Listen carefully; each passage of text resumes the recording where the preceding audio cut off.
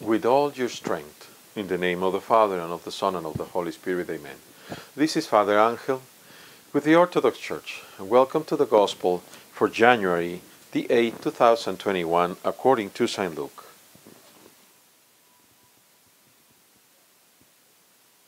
So he said, A nobleman went to a distant country to get a royal power for himself and then return. He summoned ten of his slaves and gave them ten pounds, and said to them, Do business with these until I come back. But the citizens of the country hated him, and sent a delegation after him, saying, We do not want this man to rule over us. When he returned, having received royal power, he ordered these slaves to whom he had given the money to be summoned so that he might find out what they had gained by trading. The first came forward and said, Lord, your pound has made ten more pounds. So uh, he said to him, Well done, good slave, because you have been trustworthy in a very small thing. Take charge of ten cities. Then the second came, saying, Lord, your pound made five pounds. He said to him, And you, rule over five cities.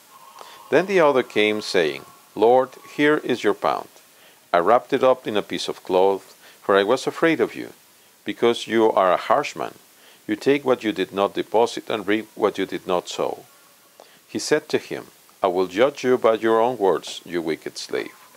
You knew, did you, that I was a harsh man, taking that what I did not deposit and reaping what I did not sow?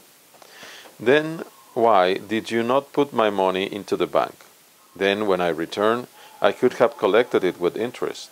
He said to the bystanders, Take the pound from him and give it to the one who has ten pounds. And they said to him, Lord, he has ten pounds. I tell you, to all those who have, more will be given. But to those who are, have nothing, even what they have will be taken away. But as for these enemies of mine, who did not want me to be king over them, Bring them here and slaughter them in my presence. After he had said this, he went on ahead, going up to Jerusalem. Glory be to thee, O God, glory be to thee. Have them slaughtered. The Lord is telling us that. Whoever is against the Lord will be thrown into hell. And it is so sad because there are so many antichrists. Starting with the so called I don't want to say, but starting with these guys that go against, that like to supplant, that do the same as the Pharisees today. Those are the very ones that sell the for indulgences, that create the purgatory and make all this business about Christ. He will slaughter them, for sure. Today, the Lord is telling us in a practical way about the commandment of God. Thou shalt love your, your God with all your heart, with all your mind, and all your strength, and all your life. With all your strength. This is interesting because ten slaves received the same, one pound, each one of them. But the abilities of each one are different. The one that produced 10,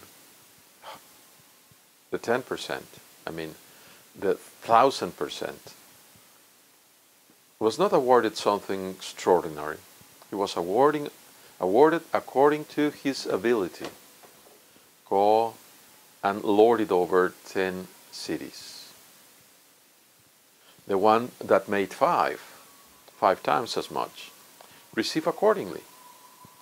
But the one that, as the devil, wanted to accuse God, which is the person of the nobleman, of being unfair and harsh, he is thrown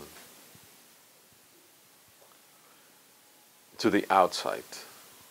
Let us just for one second dwell in the wording of this wicked slave.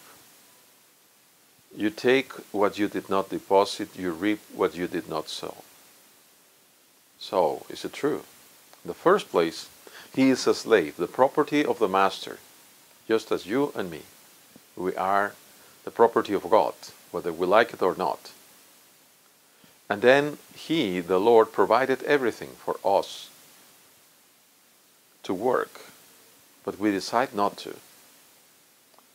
What does it mean to those that have not even that that they think they have will be taken away? Because we, when we are not faithful to Christ, we will be thrown into hell. That's for sure. Let us pray humbly to God that He might enlighten us, that we might love Him with all our heart, with all our mind, with all our strength, and put all our capabilities to work for Him, for the salvation of our brothers and ourselves. For blessed is our God, always, now, and ever, and unto ages of ages. Amen.